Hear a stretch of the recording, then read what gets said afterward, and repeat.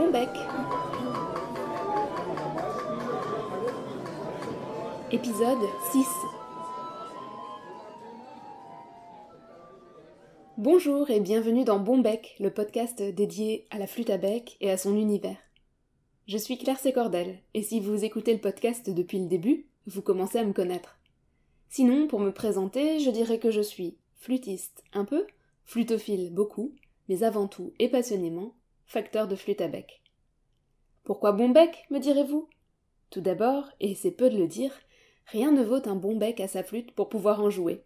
Ensuite, car les flûtistes doivent parfois avoir bon bec, c'est-à-dire la parole facile, pour faire face aux clichés. Et enfin, car j'aimerais que ce podcast vous soit aussi agréable qu'un bon bec, un petit bonbon qui se dégusterait sans modération. Que vous soyez néophyte ou averti, je vous invite à m'accompagner à la découverte du monde de la flûte à bec, qui est bien plus vaste qu'il n'y paraît. Vous me suivez? Aujourd'hui, c'est Philippe Bolton qui a bon bec. Pour ce troisième épisode de conversation, c'est avec Philippe Bolton que j'ai échangé. Alors pour la petite histoire, cet entretien est en fait le tout premier que j'ai enregistré, c'était en septembre 2018, lors d'un passage chez Philippe. L'idée du podcast était déjà bien présente dans mon esprit, mais sa réalisation balbutiait complètement. Premier réglage de micro, premières écoutes étonnées de ma voix, premier pas en montage, et donc mille merci à Philippe de m'avoir fait confiance et d'avoir accepté de se prêter au jeu comme ça, sans filer. Alors Philippe Bolton n'est rien de moins que le doyen des facteurs français en activité, puisqu'il a commencé à fabriquer des flûtes dans les années 70. Vous le connaissez peut-être pour l'avoir rencontré sur l'un des nombreux salons auxquels il participe, ou pour avoir entendu une de ses conférences, ou encore pour avoir visité son site, qui apparaît dans les premiers résultats si vous tapez la requête flûte à bec sur les moteurs de recherche. En fait, vous êtes presque obligé de connaître Philippe Bolton. Et si vous ne le connaissez pas encore, eh bien ce sera chose faite dans quelques dizaines de minutes. Au fil de la conversation, on a parlé de son parcours, de son catalogue, de ses modèles de prédilection, du flageolet français sur lequel il se penche depuis quelques années, de son envie de transmettre, de comment il transmet, mais aussi de l'évolution du monde de la flûte à bec qu'il a vécu et à laquelle il a participé. Je vous souhaite une très bonne écoute et je vous retrouve juste après.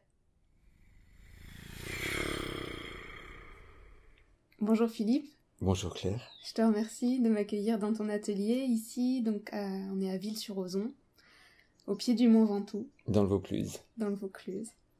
Alors, pour te présenter euh, très rapidement, tu es facteur de flûte depuis 1974 et tu es installé ici à Ville-sur-Ozon depuis 1978, c'est-à-dire que ça fait... Ça fait 40 ans. 40 ans, cette année 2018. Euh, à ton catalogue, tu as plus d'une vingtaine de modèles de flûtes qui vont des flûtes euh, médiévales qui, te tiennent à cœur et dont, on va reparler, aux flûtes euh, électroacoustiques, puisque tu es un des premiers aussi à avoir développé ce, type d'instrument. Et je voulais ajouter encore que tu es aussi connu pour ton travail de partage des connaissances, notamment par des conférences que tu donnes, des stages que tu fait, que tu as fait, euh, et également pour ton site internet, dont j'aimerais qu'on reparle aussi euh, plus tard, et qui est vraiment, en tout cas en français, la référence euh, pour toutes les personnes qui se posent des questions sur l'instrument. Alors, je voulais te demander pour commencer ce qui t'a amené à la facture de flûte dans les années 70. Ah, c'est une histoire assez ancienne. Lorsque j'étais encore à l'école primaire, en travaux manuels, j'ai eu une instite qui m'a fait fabriquer un pipeau en bambou. Et je crois que le son de cet instrument m'est resté. Mais évidemment, l'instrument était un peu limité. Et assez vite, mes parents m'ont offert une flûte à bec, à une époque où la flûte à bec n'était absolument pas reconnue comme instrument. Qu'est-ce que tu avais comme flûte alors? Oh, C'était une bête, une soprane euh, Dolmetsch, euh, je vais pas dire euh, basique, mais c'était un, instrument bien fait, mais euh, je pense sans beaucoup de personnalité. Mais euh, ça m'a suffi et je me suis mis à apprendre à jouer de, cette flûte avec une méthode parce que vraiment ça me plaisait. Tu as appris tout seul alors au début avec La avec flûte la avec, méthode? la flûte avec, j'ai appris tout seul avec une méthode au départ. Bah, à une époque, j'étais inscrit dans une, une école de musique où je jouais du violoncelle, donc j'ai quand même appris la musique euh, de, de façon plus sérieuse, entre guillemets. Mais n'empêche que, euh, à un moment donné de ma vie, je trouvais que j'étais plus agile à la flûte qu'au violoncelle. D'accord. Et la flûte avec, j'entends, hein, pas la flûte traversière, j'ai jamais joué de, de flûte traversière. Et à partir de là, il y a, je pense, certaines personnes qui m'ont influencé. Euh, la première d'entre elles, ce serait Franz Bruggen, par exemple. Ce euh, flûtiste extraordinaire qui... ben, il a sûrement marqué ma jeunesse de flûtiste avec Comme beaucoup de par de euh, son avec, talent, par la sonorité qu'il arrivait à obtenir. Je pense qu'il m'a rendu amoureux de l'instrument. Et à partir de ce moment-là, mais c'est pas le seul. J'ai aussi rencontré euh, à l'époque un ensemble qui s'appelait Florilegium Musicum de Paris, avec Jean-Claude Veillant et Jean-Claude Malgoire, qui jouaient beaucoup de musique de la Renaissance et du Moyen Âge. Et peut-être influencé par eux, j'ai réussi à rentrer euh, dans un groupe euh, qui faisait un peu le même genre de choses, mais de façon beaucoup plus, plus amateur, euh, donc dans la région lilloise, puisque j'habitais Lille à l'époque, ou j'habitais à côté de Lille. Et voilà, de fil en aiguille, euh, j'ai commencé à assister à des stages, donc je me suis inscrit. Je crois que chaque année j'ai dû faire un stage de, flûte, donc j'ai rencontré d'autres flûtistes et aussi des professionnels. Et parmi d'autres, il y avait l'ensemble dont je faisais partie avait réussi à faire venir un professeur de Strasbourg, euh, c'était Jean-François Alison, mais avant c'était Niels Ferber qui était venu euh, comme ça pour un week-end de temps en temps pour nous donner des cours. Les stages, je pense que c'était un, ça m'a permis de, de- de gravir un échelon de plus. Et c'est là que j'ai rencontré euh, Claude Monin, qui est le premier à avoir fabriqué des flûtes à bec en En France. Et cette rencontre a été décisive. Ça, je me suis dit, puisque lui, qui était ingénieur en télécommunication, si lui, il arrive à faire ça, peut-être que j'arriverai aussi à faire un cheminement comme ça. Mais C'est à ce moment-là que Et c'est à ce moment-là que j'ai pris la de- décision. J'avais un travail euh, que j'aimais bien, qui m'a permis de financer en tout cas mon atelier. Et pendant quelques années, j'ai mené une double vie, la journée au bureau et le soir dans l'atelier.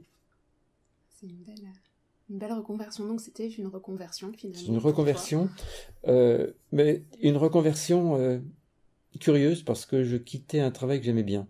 D'accord. Vrai. Donc j'ai presque eu Ouais. la larme à l'œil quand, quand, quand je suis parti finalement.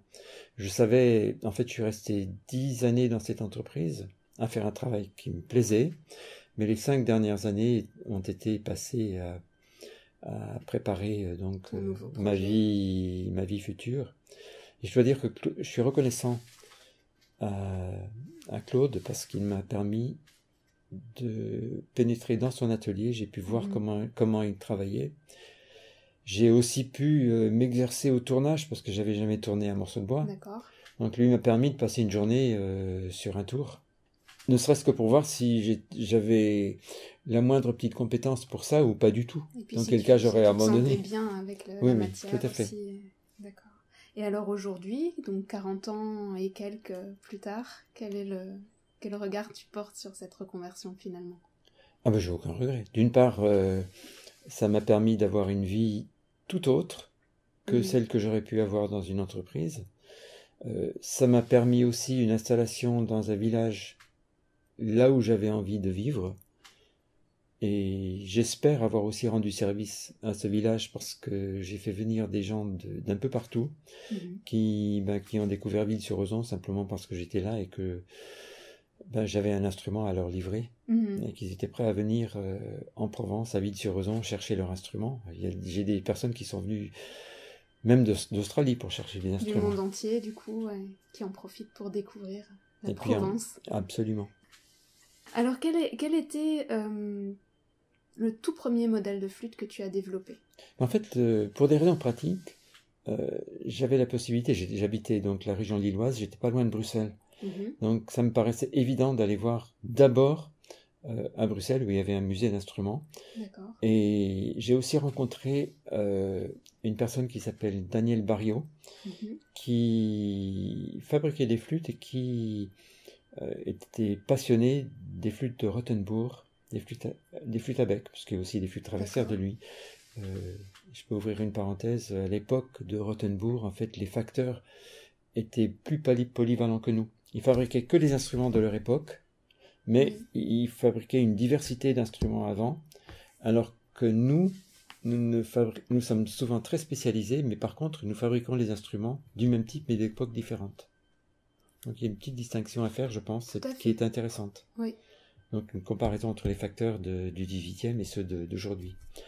Alors donc, euh, ben, c'est un, un des modèles de flûte de, de Rothenburg que j'ai pris comme premier modèle, euh, en utilisant des mesures que j'ai faites moi et des mesures de Daniel Barrio.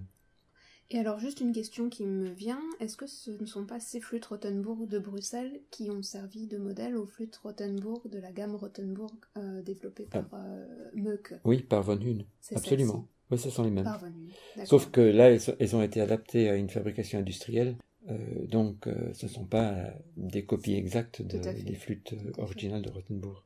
Mais donc, le musée de Bruxelles abrite euh, un certain nombre d'instruments qui ont Ah beaucoup oui. servi pour, euh, justement, pour restituer. des- Absolument. Il n'y a pas que, euh, bon, parmi les flûtes qui se trouvent à Bruxelles, il y a une ténor de d'un des Denner, par exemple, Mhm. qui est, qui est, qui est belle.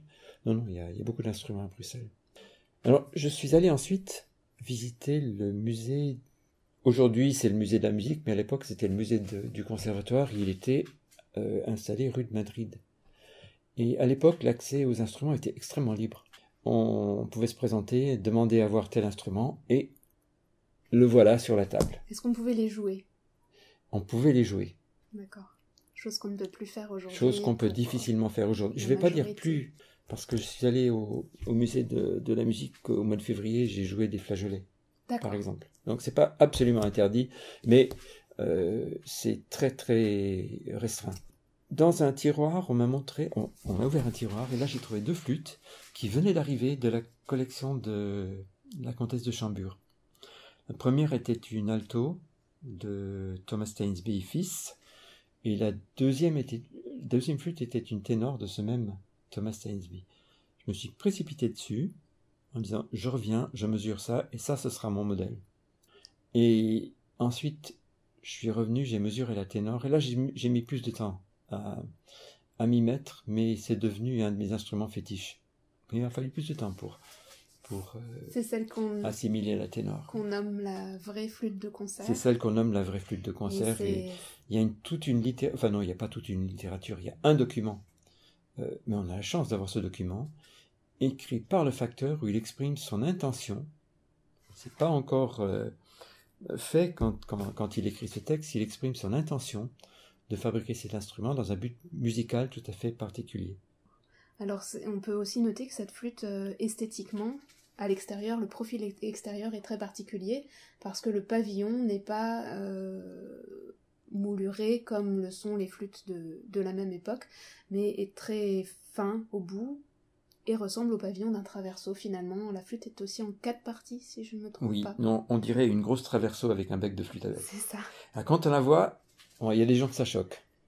Parce que euh, elle est fine en bas, alors que les flûtes à bec sont souvent, bah, elles ont un évasement ça. euh, en bas. Mais quand on s'habitue à cet instrument, en fait, il est assez beau à voir.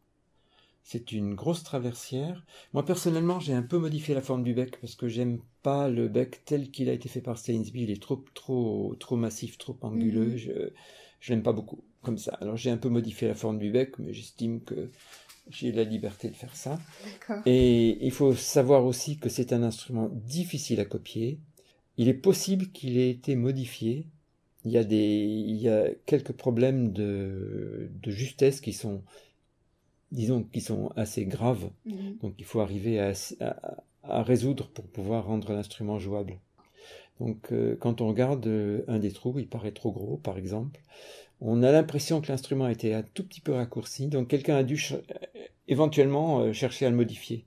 Donc il n'est pas forcément dans son état euh, tout à fait or- euh, original, mais bon, dans ce cas-là, ben, il faut je ne vais pas dire improviser parce qu'on n'improvise pas, mais il faut chercher, il faut accepter de faire des, d'imaginer comment l'instrument pouvait être au moment où il a été fabriqué Mhm. et chercher à restituer ben, ce qui ne va pas. Parce qu'on ne peut pas livrer un instrument à un musicien en disant ben, l'instrument, l'original est comme ça, donc vous devez faire avec. C'est pas possible. D'accord.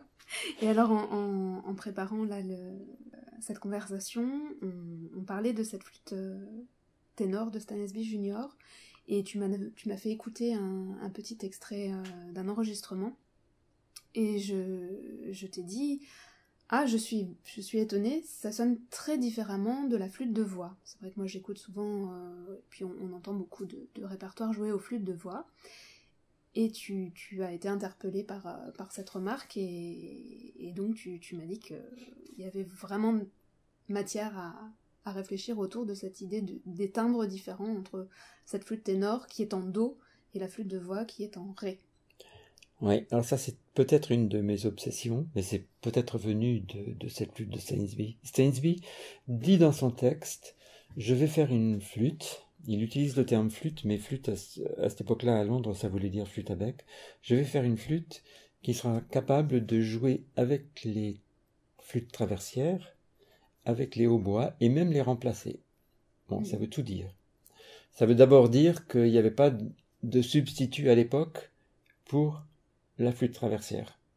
Et aujourd'hui, les flûtistes modernes ont tendance à prendre euh, euh, une flûte de voix, donc flûte à bec à huit trous en ré, et à jouer de la musique écrite pour la flûte traversière avec cet instrument.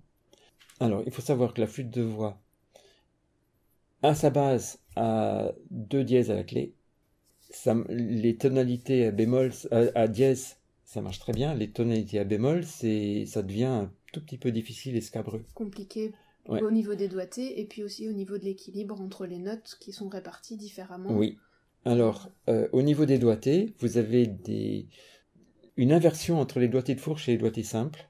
La flûte ténorando, si vous la prenez euh, comme une flûte à six trous avec un trou en plus, euh, ces doigtés correspondent aux doigtés de la traversière. Alors que si vous prenez la, la flûte de voix, ben non, les doigtés ne correspondent pas. Alors vous avez des notes euh, importantes sur des doigtés de fourche et des notes des, des altérations sur des doigtés simples. Mhm. Et ça, ça me paraît pas bien. Et le fait que Stainsby, dans son texte, ne parle absolument pas de l'utilisation qui est faite euh, de- d'une flûte en ré pour jouer de la musique de traverso, pour moi, historiquement, Mhm. ça correspond à quelque chose. Au contraire, Stainsby, dans son texte, il critique l'utilisation à tout bout de champ de la flûte alto en fa.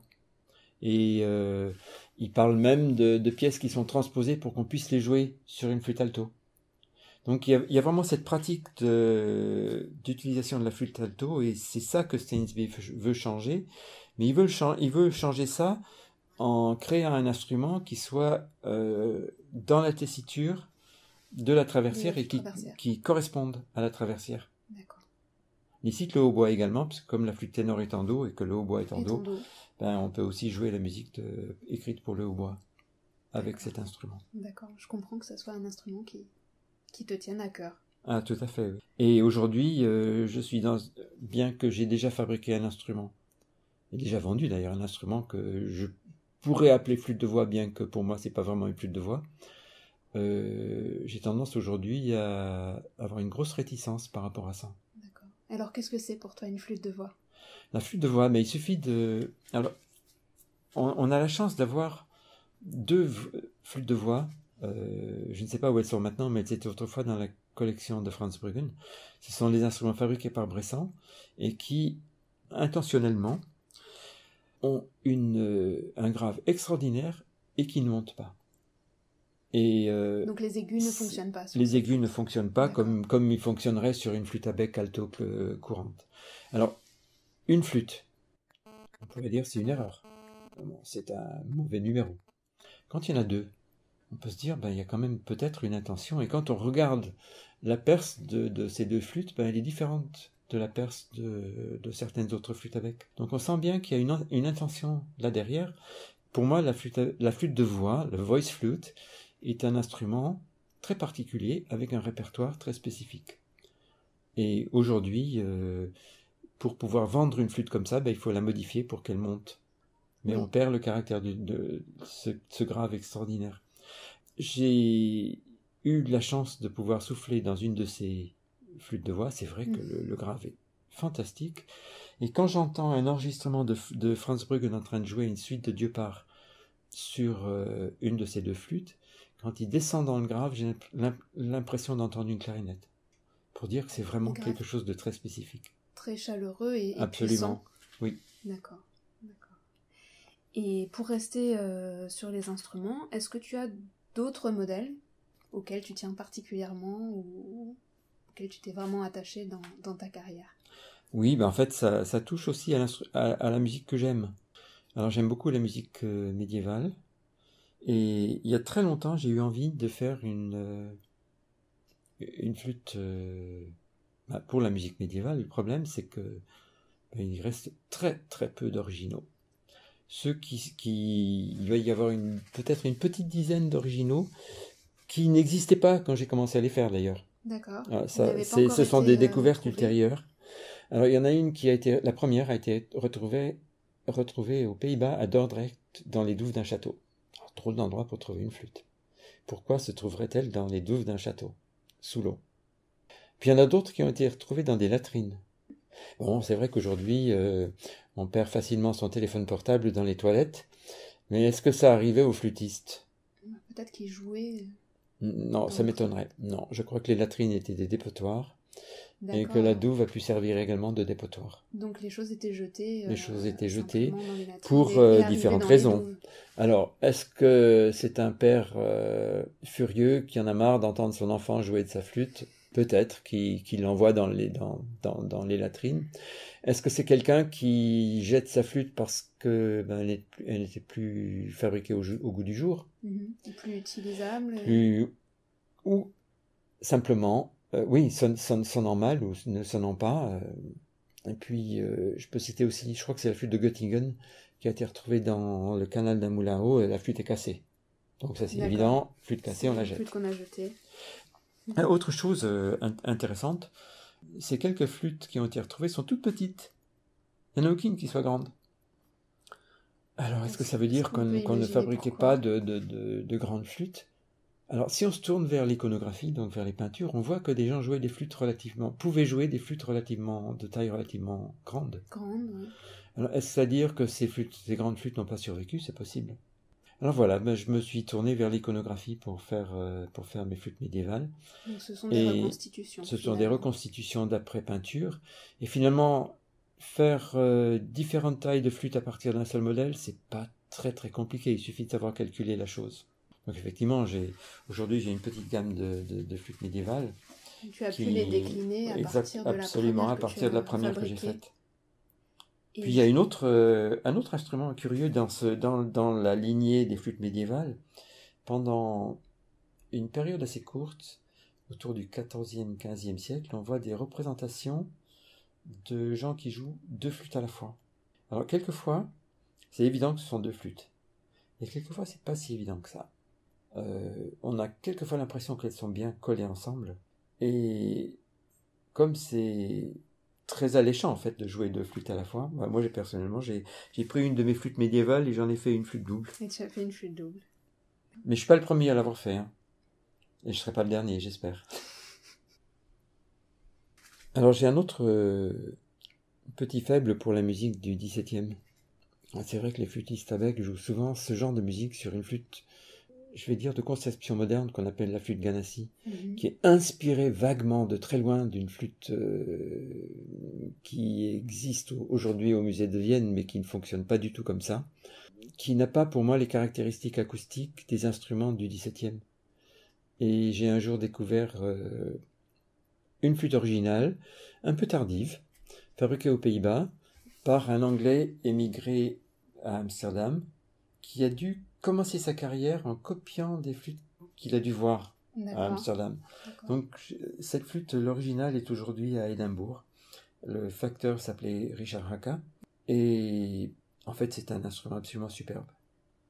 Et peut-être exactement le genre d'instrument sur lequel aurait joué un dénommé Jacob Van Eyck, qui est connu de tous les flûtistes à bec pour avoir euh, écrit énormément de variations sur les tubes de son époque. Thème populaire. Voilà. Alors cette petite flûte euh, AK, elle a un profil aussi extérieur très particulier parce qu'elle est très très fine et elle a un pavillon extrêmement évasé. Alors, le pavillon évasé, c'est pas important. Mhm. Ça dépend de la matière dont on dispose. Mhm. Alors, selon, elle est en ivoire et la défense devait être assez grande. Mais elle n'est pas la seule à avoir ce profil. Et ça, c'est intéressant parce qu'il y a quand même quelques autres instruments originaux de, de, de cette époque qui, qui ont été, Qui qui, ont qui ont, sont retrouvés, qui ont euh, exactement le même profil. D'accord. Donc, ça doit être quelque chose d'assez courant. Même s'il n'en reste pas beaucoup aujourd'hui, ça devait être relativement fréquent. Relativement courant. En fait, euh, de cet instrument, j'ai commencé par la fabriquer en un diapason proche du diapason de l'original, mais aujourd'hui, je la décline en trois diapasons différents, simplement parce que les flûtistes me demandent ça. Mhm. Donc, bien que ce soit pas historique du tout, je la fais à 415, donc le diapason baroque, pour des raisons pratiques, pour les gens qui n'ont qu'un seul clavecin, pour qu'ils puissent effectivement en jouer sur euh, cet instrument-là et ne pas être obligé d'avoir un autre clavecin ou Et un le- clavecin transpositeur. Le diapason moderne le plus proche de l'original, ça serait 440. En fait, l'original est autour de 442.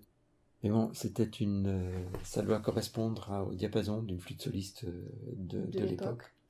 Je l'ai fait également un diapason Renaissance. Et j'ai été jusqu'à recalculer l'instrument pour faire une flûte en sol. Parce que la flûte en sol, l'alto en sol était l'instrument, euh, l'instrument premier en Italie. Pour Alors les que dessus. la- oui, pour les dessus, alors que le- la soprano était plutôt le, devenu le dessus dans les pays nordiques.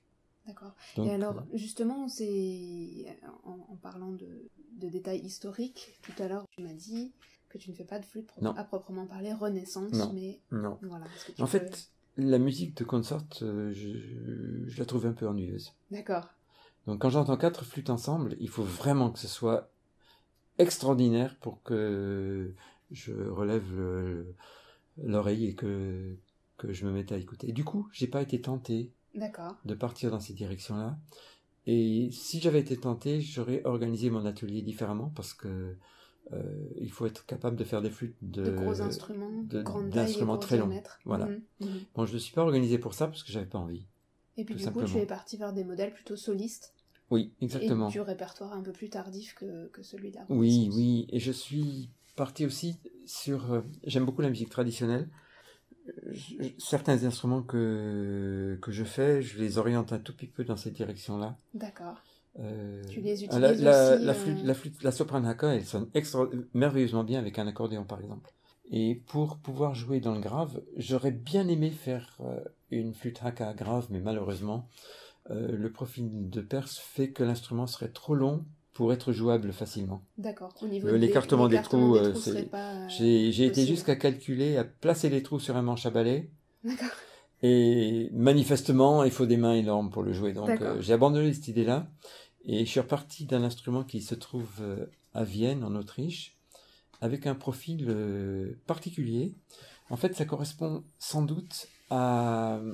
Alors, je vais citer un musicien, euh, Philibert Jambe de Fer, enfin qui a écrit un traité Mhm. avec des doigtés, et un facteur qui travaillait à Lyon qui s'appelait Raffi qui a le premier, je pense, fait des flûtes avec, euh, pouvant jouer sur une, une tessiture de plus de deux octaves. Mhm. Et j'ai pris donc comme modèle un instrument à Vienne, une ténor, qui a une paire similaire à celle des flûtes de Raffi. C'est pas Raffi, hein, c'est la, la signature est, est autre, mais c'est le même style d'instrument et je trouve que ça fait ça fait une très belle flûte ténor. Là aussi, euh, flûte euh, ténorando est, qui est, équivalente à la flûte citrou en ré Irlandaise. irlandaise. D'accord. Donc ça, c'est, Ça fonctionne bien. C'est parallèle. Alors un, autre sujet que je voulais aborder euh, avec toi, notamment parce que je connais par exemple ton site euh, internet depuis un certain nombre d'années et que je l'utilisais déjà quand j'étais étudiante et voilà que je cherchais comment euh, entretenir ma flûte ou, faire des, petits réglages. Et sur ton site, outre ton catalogue d'instruments, tu as une foule de documents sur l'histoire, sur la facture de la flûte, sur l'entretien, comme je disais. Aussi, tu répertories des tablatures anciennes et tablatures récentes. Tu donnes des, bases d'acoustique. Tout ça complètement accessible à chacun. À, quel moment tu as envie de faire ce, travail de transmission? Ah, je pense que c'est assez ancien aussi. En 1982, je pense que c'est ça. J'avais déjà, on m'avait demandé d'animer des stages pour, pour apprendre aux gens à fabriquer un bouchon mm-hmm. pour leur flûte. Donc j'ai fait ça un certain nombre de fois en Autriche, en Suisse. Je sais pas si je l'ai fait en France d'ailleurs, peut-être pas. Mais en tout cas, je l'avais fait en Autriche et en Suisse. Et puis, un jour euh, est née une association qui n'existe plus, qui s'appelait l'Association française pour la flûte à bec. Mhm. Et elle a créé une euh, revue qui s'appelait Flûte à bec et instruments anciens et cherchait des articles. Je ne sais pas si, on me l'a peut-être demandé de le faire. En tout cas, il cherchait les articles. Mhm. Et j'ai pensé que je pourrais mettre le contenu de ce sage dans une série d'articles. Donc j'ai fait ça. Donc ces articles sont parus dans la revue. Euh, dans cette revue, Flûte à bec et instruments anciens. Et puis un jour, il y a un flûtiste espagnol qui m'envoie un mail en me demandant une photocopie de ces articles. Alors je me suis dit, mais c'est idiot, je vais lui envoyer une photocopie, mais peut-être que ce serait aussi bien de le mettre sur mon site, comme ça d'autres mhm. personnes pourraient le, trouver sans que je sois obligé à chaque fois de le photocopier. Tu as eu aussi très tôt un site, parce que euh, quand moi j'étais étudiante, c'était encore finalement le, début d'Internet. Alors. Tu as eu envie de... Pourquoi j'ai un site? Pourquoi j'ai créé mon site? En fait, je suis à la chambre de métier.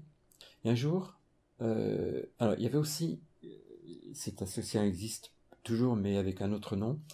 Euh, ça s'appelait euh, ADDM, voilà. ADDM 84, Association pour le, développement de la musique. Mm-hmm.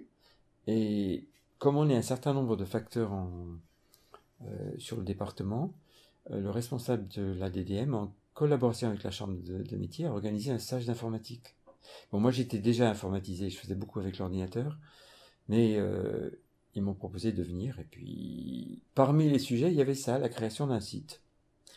Alors, euh, ben, pendant ce stage, j'ai fait un tout petit embryon de site. Puis, comme ça m'intéressait, ben, je l'ai développé. Voilà. Je crois qu'il y a des générations de flûtistes, de d'amateurs de flûte, de, facteurs qui, qui, peuvent te remercier parce que, en tout cas, pour ma part, j'ai trouvé très peu de ressources en français quand j'ai fait des recherches euh, personnelles. Il y a énormément de ressources en anglais qui sont malheureusement pas accessibles à tous et grâce à, grâce à ton site finalement on peut en apprendre énormément et je crois que tu continues à l'enrichir régulièrement. Ben, il faut dire que si on veut qu'un site soit vu, qu'il soit vu par les moteurs de recherche, ben, il faut qu'il y ait du contenu. Mhm. Donc c'est peut-être pour ça que j'ai développé un peu le contenu. Bon, c'est vrai que ce, cet, article sur les bouchons, ça me paraissait, ça me paraissait évident parce que qu'on allait me demander mhm. euh, de nouveau et j'allais devoir, parce que là, je sais, sais plus où il est. Tu me demanderais cet article aujourd'hui, il faudrait que je cherche. La version papier. Ah oui, oui. Euh, bon, il est quelque part au grenier, mais si à chaque fois il faut que je fouille pour le retrouver, euh, là au moins il est sur le sur le site et bah, il n'y a pas de problème. Je l'ai mis sur le site. Il est tant que le site existera, tant que bah, il, sera, il, sera, accessible. Mais c'est vrai que peut-être qu'au niveau réglage, par exemple des flûtes, cet article ne va pas assez loin. C'est pour ça que j'ai eu envie un jour de de, de mettre une page sur euh, sur le réglage des flûtes et puis de fil en aiguille, voilà, ça s'est développé de façon assez darwinienne quand même. D'accord. Et tu es, tu es très généreux dans le, dans le partage de, de tes connaissances, de, de, tout ce que tu sais. J'en ai bénéficié, je crois que beaucoup de, de personnes en ont bénéficié. Qu'est-ce que tu, qu'est-ce que tu fais d'autre pour, pour transmettre que, que ce site? Bon, ça m'arrive d'animer des stages, ça m'arrive de prendre des stagiaires ici. Je régulièrement, je vais à l'ITEM, l'Institut technique européen des métiers de la musique au Mans, mhm. euh, faire une petite initiation euh, pour les élèves de BMA pour que lors de leur insertion professionnelle en magasin de ils soient capables de faire face aux problèmes de base d'une flûte avec. Donc euh, ça m'arrive euh, d'enseigner comme ça, mais ça m'est aussi arrivé de d'aller jusqu'à apprendre à des gens à fabriquer une flûte. Et là, je dois dire que la première fois que j'ai fait ça, c'était en Australie. Donc c'était à la demande de d'un festival australien. Et je veux dire que j'avais passablement peur de, de ne pas me rater. Mhm. Donc je suis parti avec des ébauches d'instruments parce que le stage n'était pas très long. Donc je ne pouvais pas me permettre de, de faire tourner, percer une flûte euh, le temps de, de village, etc. Ça aurait été impossible. Donc j'ai préparé des ébauches que j'ai emmenées avec moi en Australie. Et avec beaucoup de trac au début, euh, ben, j'ai fait faire ces instruments euh, à des stagiaires australiens. Et peut-être que l'idée m'a plu et j'ai continué à faire ça. D'accord. J'ai fait ça entre autres pendant plusieurs années. Euh, Tant que ce festival a existé, il y avait un festival de musique médiévale à Saint-Brie, à côté de Saint-Brie-le-Vineux, à côté d'Auxerre, et à chaque fois, euh, j'animais un atelier de, de, de, facture de flûte. Donc euh, oui, euh, j'ai fait un peu d'enseignement comme ça. Et des conférences? Alors des conférences, oui, j'en fais régulièrement. Mhm. Là, je, je viens de faire un- une conférence à Serret, dans les Pyrénées-Orientales, dans le cadre d'un petit festival très sympathique qui s'appelle la Festa del Joglar. Et là, j'ai parlé du flageolet. D'accord. C'est ton, ton sujet du moment. en fait, C'est un de mes sujets, oui, c'est un de mes sujets du moment. J'ai été attiré par le flageolet à la suite d'une conférence du Goren, qui est un des musiciens qui joue euh, bien du flageolet. Et ça m'a donné envie, en fait, de faire des recherches sur l'instrument et de- de- d'en fabriquer. Donc aujourd'hui, effectivement, le flageolet est dans ma pal- palette d'instruments. Et ça m'arrive aussi de faire des conférences sur l'histoire du flageolet, ne serait-ce que pour le faire connaître. Hein. Peut-être qu'il y a une... Peut-être qu'il y, a, qu'il y a une envie derrière, hein, que- qu'il y a des gens qui achètent des flageolets, mais apparemment, j'ai pas de problème pour trouver. Enfin, j'ai un certain nombre de commandes de, de, de cet instrument. Peut-être aussi grâce à le, au site que- spécifique flageolet que j'ai que j'ai créé. En fait, c'est un instrument qui permet euh, d'aborder le répertoire 19e. Absolument. C'est le flageolet, il existe depuis la Renaissance sous sa forme actuelle. Il a évolué avec le temps. Il n'a pas disparu après le, le- après le baroque. Il a continué à être joué. Peut-être pas beaucoup au 19e, mais un peu, parce qu'on trouve dans des partitions petite Mhm. flûte ou flageolet, ce qui veut bien dire qu'on pouvait l'utiliser. Et au 19e, il, est, il, il a pris un certain essor, il, il a, ch- sa facture a un peu changé, et il a beaucoup été utilisé pour euh, animer les balles. Et on l'a joué jusqu'au XXe siècle, et le nombre d'instruments originaux qu'on trouve encore témoigne de sa popularité. Donc c'était un instrument très populaire. Alors pourquoi les flûtistes à bec ne se mettraient pas à jouer du flageolet?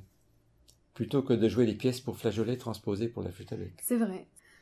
Alors j'aurais une, dernière question à te poser, parce que ben, tu es un des plus anciens facteurs français euh, encore en activité, donc tu as traversé ces 40 ans de carrière. Sinon le plus ancien, Le plus ancien, peut-être. d'accord.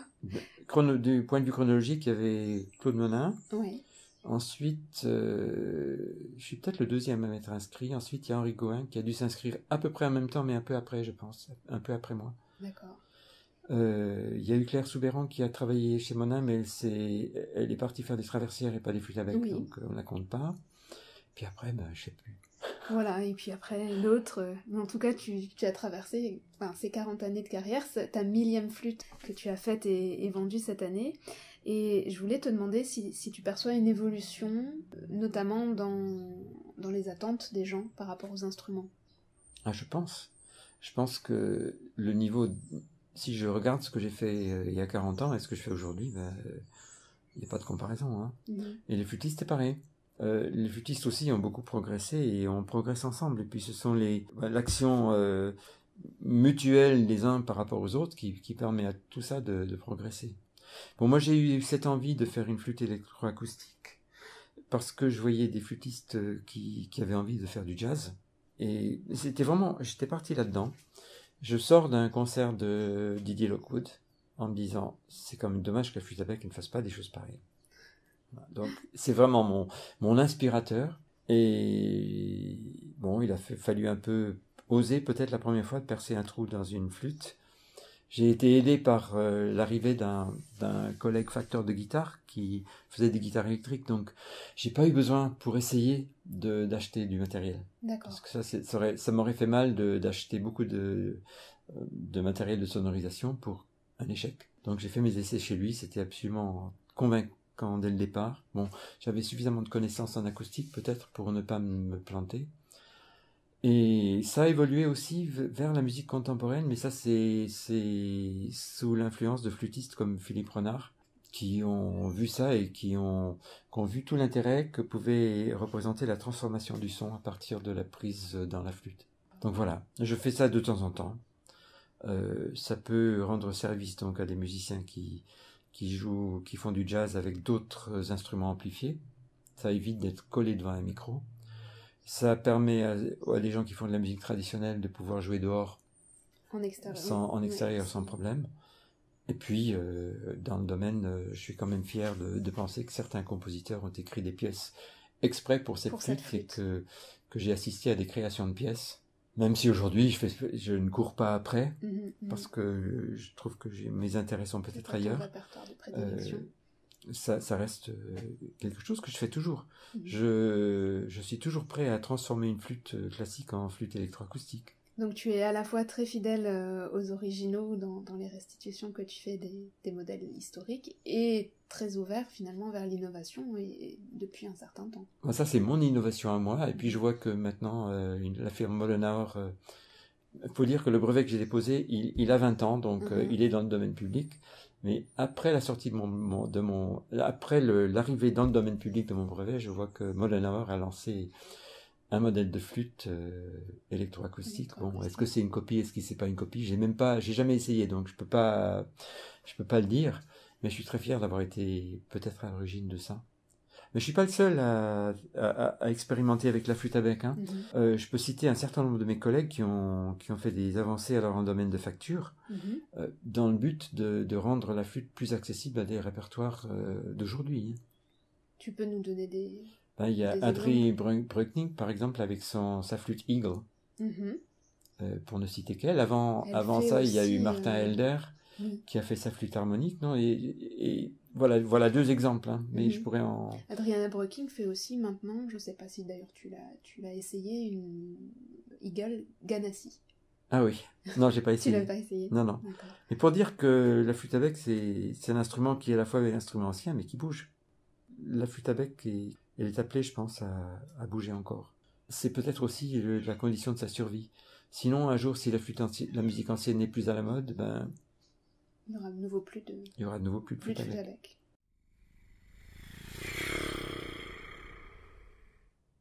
Et voilà, ainsi s'achève cette conversation avec Philippe Bolton. J'ai coupé les quelques secondes de remerciements au montage car le chat s'impatientait et une sonnerie de téléphone venait de retentir. Je remercie donc ici encore une fois Philippe pour cet épisode, mais aussi pour le soutien et les conseils précieux qu'il m'a apportés depuis mes débuts il y a quelques années.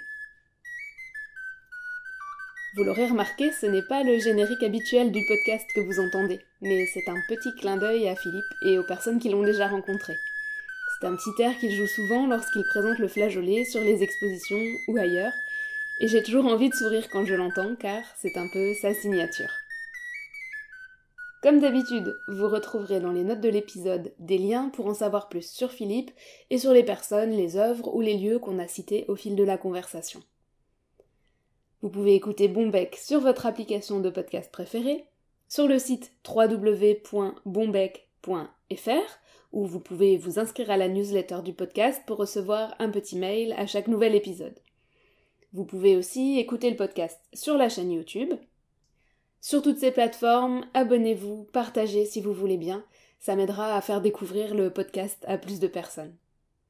N'oubliez pas non plus la page Facebook et le compte Instagram, toujours avec les identifiants Bombec Podcast. Vous pouvez me contacter par le biais du site, par les réseaux sociaux et maintenant aussi directement à l'adresse podcast.bombec.fr pour me faire part de vos impressions et pourquoi pas de vos idées pour des prochains épisodes. Quant à moi, je vous donne rendez-vous dans 15 jours pour un nouvel épisode alphabet. Et petit indice, le mot commencera par la lettre I. Je vous remercie pour votre écoute et je vous dis à très vite.